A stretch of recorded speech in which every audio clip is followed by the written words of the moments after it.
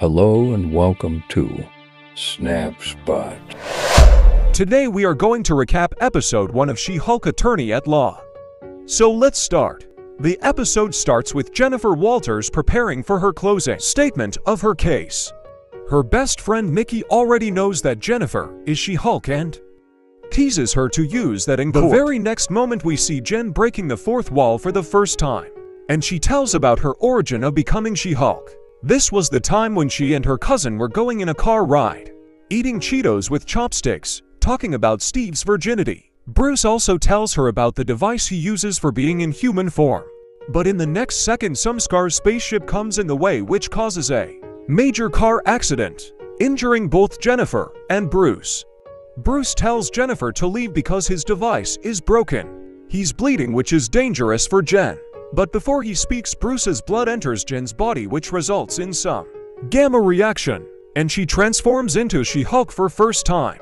Jennifer starts running away from Bruce as he told him to. She then wakes up in front of some restaurant back in Jen's body. She finds some women which help her in dressing and cleaning her properly.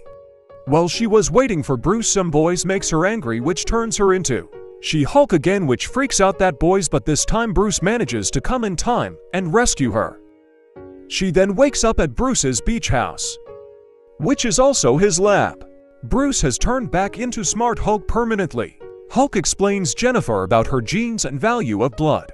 His hand got healed by Jen's blood and need to be destroyed so no one else could use it. Hulk then do some more tests on Jennifer's body to check the effects after she has become an Hulk. But Jennifer freaks out and turns into She-Hulk again.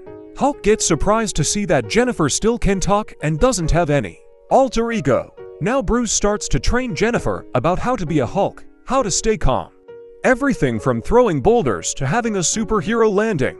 He also tells up sides of being like having ability to drink a lot.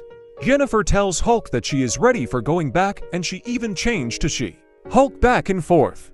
Hulk asks Jennifer to stay for some more time but she refuses and attacks Hulk. Now Hulk and She-Hulk both gets into a little fight in which Hulk dominated but However after the fight Hulk agrees that she is ready to go back to her normal life. Now back to the present time Jennifer is getting ready to deliver her statement.